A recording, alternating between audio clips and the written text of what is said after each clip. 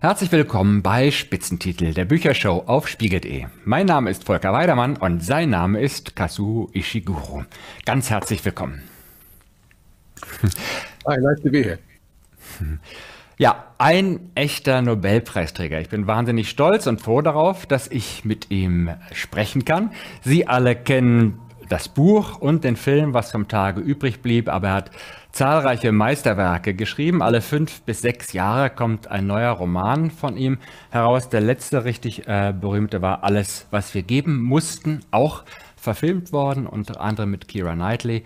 Und sein neues Buch, sein neuer Roman, der jetzt auf der ganzen Welt zeitgleich erscheint, heißt Clara und die Sonne. Ja, once again, a warm welcome, Kazuo Ishiguro. Thank you very much. Very good to be with you.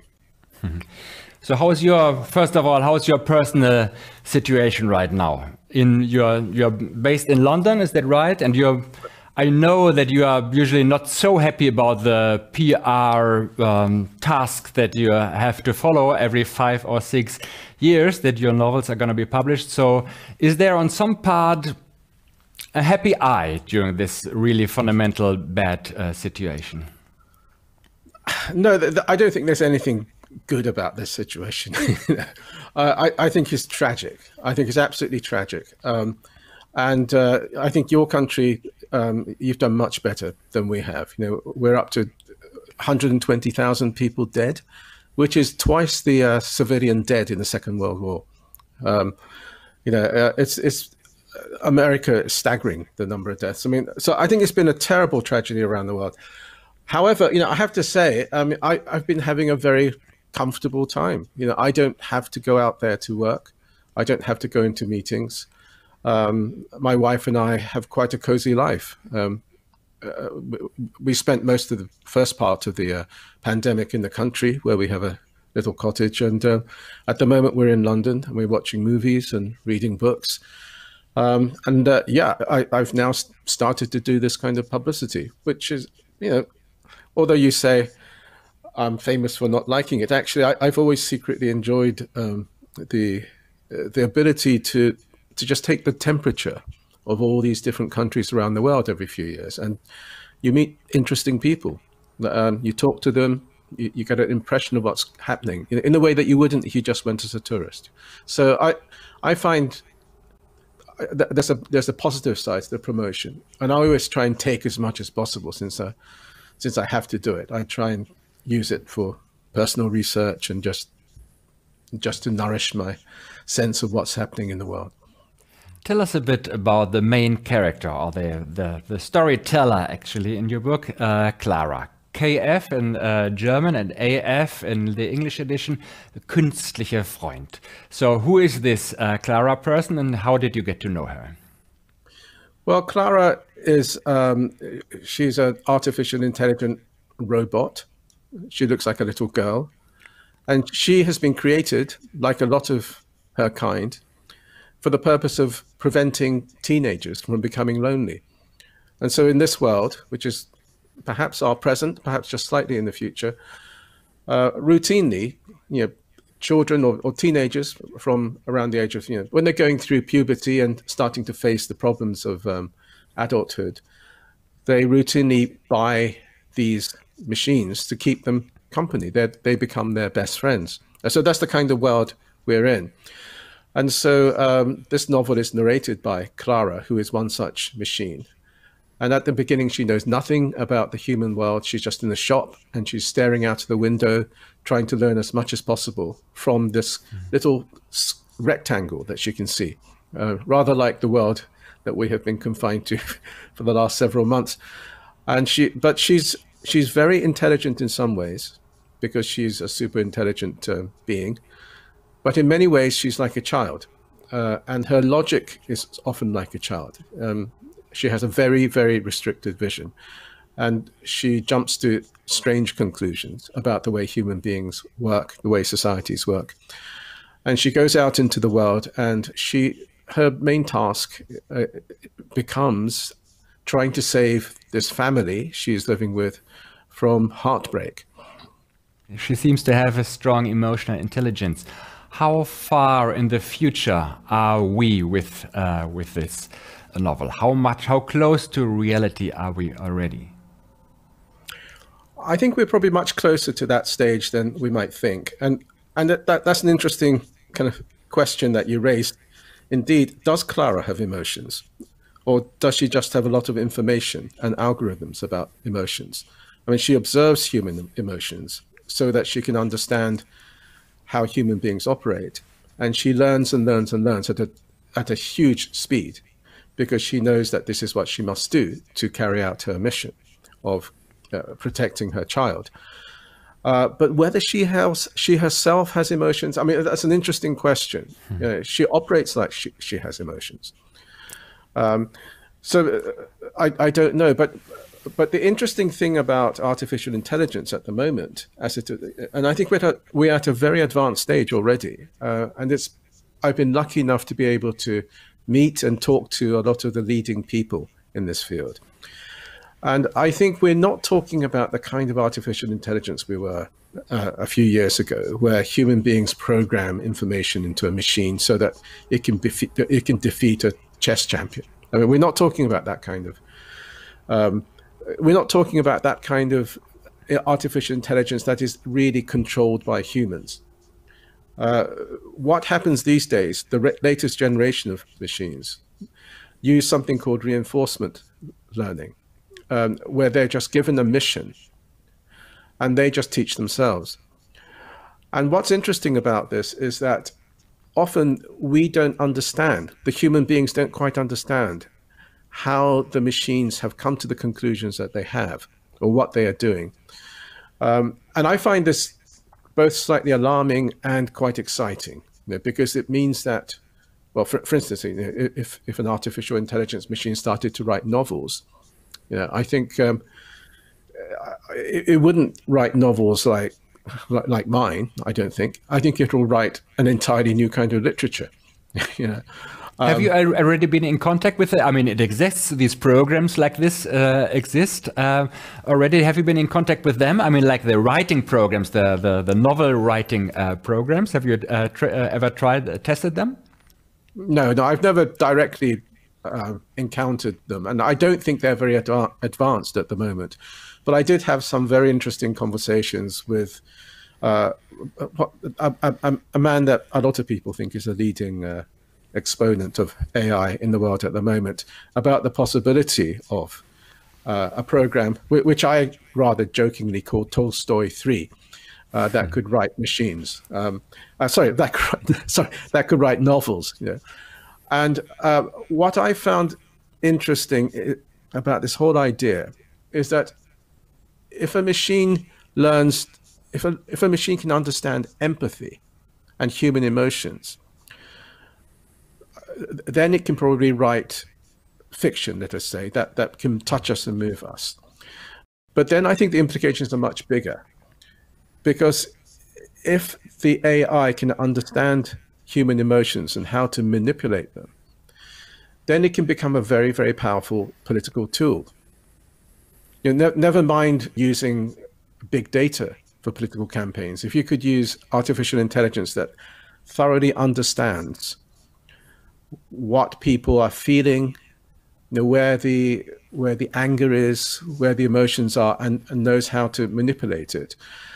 Um, I think that could be a a very dangerous thing. Um, and so, the moment a, an AI can write a novel that I find, that that reduces me to tears, I'll be very concerned about what else it can do, and it could even come up with the next big idea. You know, by big idea I mean an idea like like capitalism or or hmm. uh, or democracy or money or, or in the private company, something like that. You know, it can, um, and so I think it's a we're at a crossroads, uh, and and already these machines are doing remarkable things. Yeah, they're doing things that human beings don't quite understand, and and I think the people who create these things are often reverse engineering to find out how how these things have been achieved. And you uh, have not only been in contact with, with the expert, experts of artificial intelligence, but with the robots themselves. I, I, don't want to. I don't want to emphasize too much the artificial intelligence aspect of my novel because, to some extent, uh, no, you're quite right to ask me these questions because, yes, that my book deals with these questions, uh, in a, uh, and it is a key to my to my novel that we ask the questions about, you know, what is a human being, what is not a human being.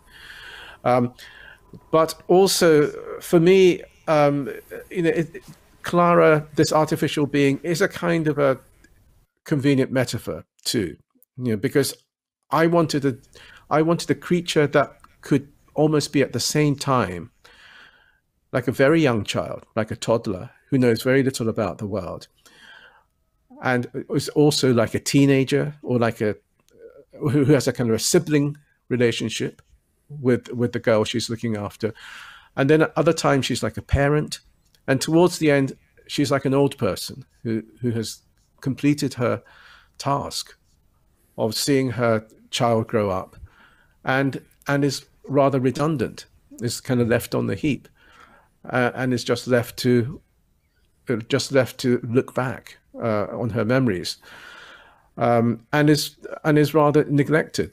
Um, so it, it's a it was a way of talking about the hu- the typical human lifespan, just in a in the few years in the in the life of this little machine. Um, so yes, I this forms a backdrop to my novel, the, the world of artificial intelligence and and gene editing, which is also quite an important aspect of what's happening in the novel.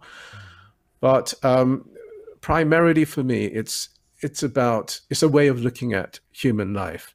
Your most famous uh, character in your work might be the butler Stevens, uh, that we all, many of us know, in the person of Anthony Hopkins. Do you see any kind of similarities between uh, Stevens and Klara? Yes, I think I think they're both extreme outsiders. Um, I, I think I've I've always liked. This is a paradox because you know I, am quite a sociable I'm quite a sociable person, uh, and I've always been quite embedded in in the societies that I, you know I've moved around. Um, but when I'm writing fiction, I like for me personally, I think fiction is an exercise in trying to get a different perspective. I want to move out of my own perspective and try and look, try and see what the world looks like from uh, like the, the point of view of an alien.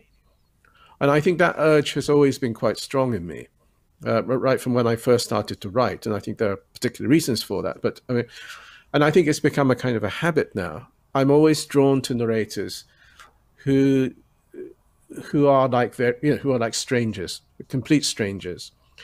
Um, and Stevens the butler was probably an early example of this. He is so odd and so much of an outsider. Um, so that you know his perspective on the world around him, the very limitations of his vision, uh, become something very fascinating to me. That, that that's what I'm interested in. What he can't see as much as what he can see. I'm not interested in narrators who, who have brilliant eyes, yeah, or, um, or who are omniscient.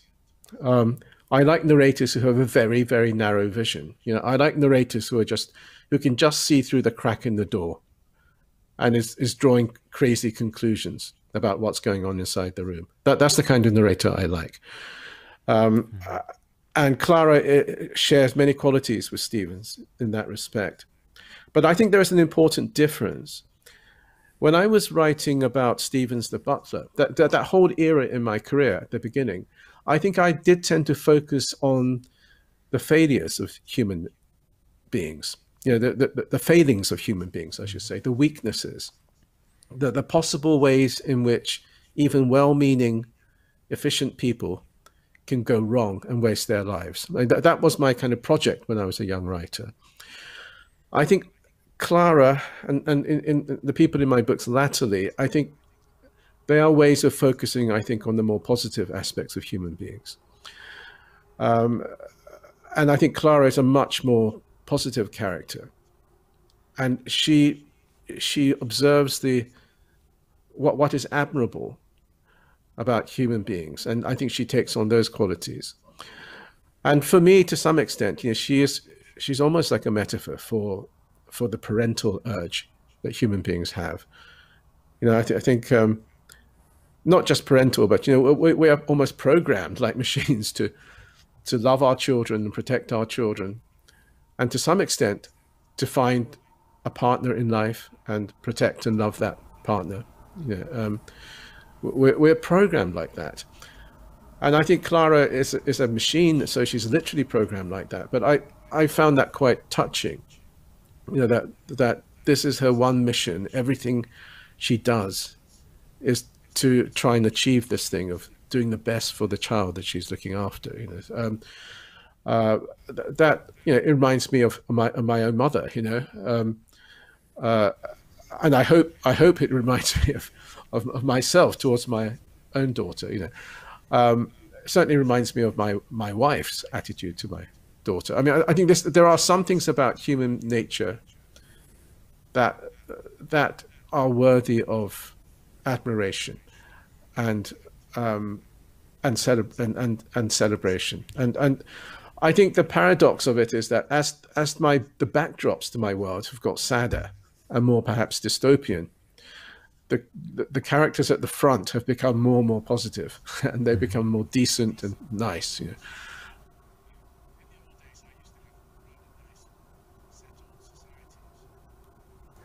And England with nice tea rooms and country houses, and the war is over, and everything is going forward to some to some better era. But the characters at the front of the story are, are flawed, and um, but now I've, I've, I've, I've kind of, maybe it's because of, I'm getting older. Um, the backdrop is sad and bleak, um, but the human beings are, are, are hopeful and um, I think they're decent. Hmm. Thank you very much indeed for your writing and for this very impressive uh, interview with you, Mr. Ishiguro. Thank you very much indeed. All the best to you. Und jetzt kommt Elke Heidenreich und ihr Spitzentitel der Woche. Mein Spitzentitel diese Woche, William Boyd Trio, im Kamper Verlag erschienen. Der Kamper Verlag legt gerade die ganzen schönen alten Boyd-Romane wieder neu auf, aber dieser ist wirklich ganz neu, gerade erschienen. Und er spielt in Brighton, und zwar 1968. Das war das Jahr, in dem der Vietnamkrieg noch tobte. In Paris gingen die Studenten auf die Barrikaden. In Amerika wurden Martin Luther King und Robert Kennedy ermordet. Nur in Brighton ist alles friedlich. Ich war mal in Brighton, und zwar in dem Jahr, als George W. Bush, der Jüngere, auch der Dümmere genannt, diesen blöden Begriff von der Achse des Bösen geprägt hatte. Und ich habe in Brighton sofort gedacht, das ist die Achse des Blöden. Da ist ein Riesenrummelplatz mit ähm, Buden und Riesenrad und allem direkt am Strand, grauenvoll. Und genau da spielt dieses Buch und genau da wird ein Film gedreht. Der Film hat den unsäglichen Titel Emily Brace Girdles unglaublich hilfreiche Leiter zum Mond. Versteht kein Mensch, was das sein soll. Und es geht in diesem Buch um diesen Filmdreh. Am Set geht eigentlich alles schief, was schief gehen kann. Es verschwindet Filmmaterial, die Produzenten betrügen einander. Die Hauptdarstellerin heißt Annie, wird erpresst von ihrem Ex-Mann, hinter dem das FBI her ist und sie fängt eine Affäre an mit ihrem jungen Mitspieler, sehr jung, halb so jung wie sie. Und ähm, dabei hat sie einen Freund in Paris. Dieser Freund reist irgendwann an und dann knallt es natürlich mächtig. Der Regisseur, ein windiges Börschchen namens Reggie, möchte plötzlich Rodrigo genannt und ernst genommen werden, fängt auch eine Affäre an mit der kleinen, dicken Drehbuchautorin. Im Hotel versauert ihm seine abgelegte Frau, die heißt äh, Elfrida, die war mal eine berühmte Bestsellerautorin und säuft sich jetzt so langsam zu Tode, weil es mit dem Schreiben nicht mehr klappt. Sie schafft immer die ersten drei Sätze eines neuen Romans und dann geht es irgendwie nicht weiter die heimliche Hauptfigur des Ganzen ist, Entschuldigung, die Rezensentin muss auch mal husten. Die heimliche Hauptfigur ist Talbot, ein Produzent, ein sehr gütiger, sehr netter Mensch, der von seinem Kompagnon so ein bisschen betrogen und ausgenommen wird. Der versucht jeden Tag die Wogen zu glätten und hat selbst ein sehr schmerzliches Geheimnis. Er ist homosexuell. Das war 1968 noch ein Riesenthema. Er traut sich mit niemandem darüber zu reden, zumal er Frauen und Kinder hat. Er traut sich schon gar nicht auszuleben. Und er ist einfach damit beschäftigt, jeden Tag dieses Chaos an diesem Set irgendwie wieder in Ordnung zu kriegen. William Boyd ist ein alter Romanfuchs und er schafft es, dass diese eigentlich etwas windige Story unglaublich spannend ist, weil uns diese Menschen wirklich nahe kommen, weil sie uns interessieren, weil wir sie gern haben, weil wir ihnen fast mit ihnen befreundet sind und ihnen äh, folgen dabei, was sie bei diesem Filmdreh alles erleben. Das unterhält auf 400 Seiten so, als würden wir diesen beknackten Film selber wirklich sehen. Und darum ist das mein Spitzentitel der Woche, William Boyd Trio. Und jetzt kommen wir zu den Spiegel-Bestsellern der kommenden Woche. Diese Woche auf Platz 10. Die Geschichte des geisteskranken Axtmörders Hatcher und wie er gemeinsam mit einer Alice aus einer brennenden Psychiatrie flieht. Äh, keine Ahnung, wer sowas liest. Die Chroniken von Alice heißt der Roman und geschrieben hat ihn Christina Henry. Viel Spaß dabei. Von 10 auf 9 gestiegen ist der Mann, der die Weltliteratur durch die Nacht zu uns Leserinnen und Lesern trägt. Der Buchspazierer von Carsten Henn. Und diese ganzen Bücher kann man in der Dunkelheit dann zum Beispiel hier aufstellen, damit wir für alle Zeiten genug zu lesen haben. Die Mitternachtsbibliothek von Matt Haig diese Woche auf Platz 8. Platz 7 für die Geschichte eines vergangenen Glücks, der große Sommer von Ewald Ahrens. Und Steffen Kopetzky ist mit seinem schrecklich aktuellen Pockenroman aus den 60er Jahren einen Platz hinabgestiegen. Monschau, diese Woche auf Platz 6. Letzte Woche erklärte sie uns hier noch, wieso ihr Angela Merkel dringend davon abriet, Politikerin zu werden. Sie blieb Schriftstellerin. Und was für eine. Helga Schubert vom Aufstehen. Platz 4. Der neueste Streich des Rechtsanwalts Carsten Düss heißt Achtsam Morden am Rande der Welt. Auf dem Jakobsweg droht einem friedlichen Pilger der gewaltsame Tod von 0 auf 4. Das ist der Aufsteiger der Woche.